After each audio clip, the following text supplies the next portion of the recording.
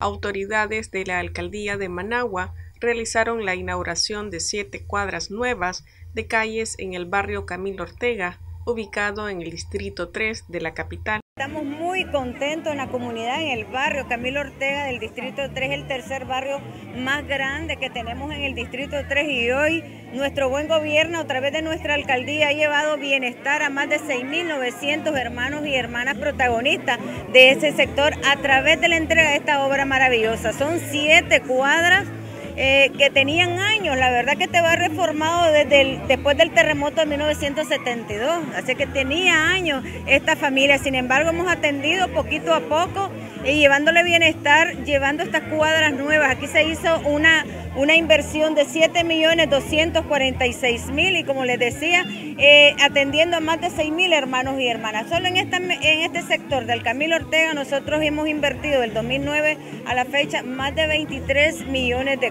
Y vamos avanzando. Realmente aquí no existía el agua potable ni, ni la energía eléctrica por muchos años. Sin embargo, ese es un compromiso que hoy en día está cumpliendo nuestro buen gobierno. Del programa de Calles para el Pueblo llevamos un avance significativo.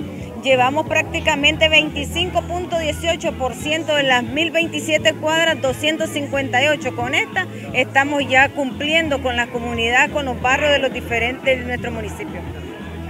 Estas calles eran calles cauce, calles donde se transitaba en tierra y hoy en día es un sueño hecho posible. Y gracias a esos héroes y mártires cuando yo vine aquí, estas calles estaban malas, estaban todas quebradas, estaban todas deterioradas, estaban todas desbaratadas.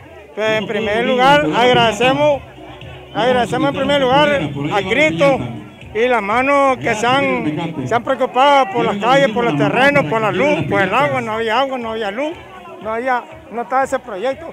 Pero agradecemos en primer lugar a Dios, agradecemos que nuestras calles están buenas, están reparadas, hay luz, hay agua, hay todo, gracias a Dios. Para Noticias 12, Gloria Campos.